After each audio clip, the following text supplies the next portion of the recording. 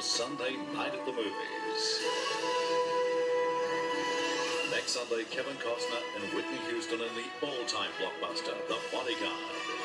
And tonight, Sharon Stone and Michael Douglas sizzle in the adults-only Basic Instinct.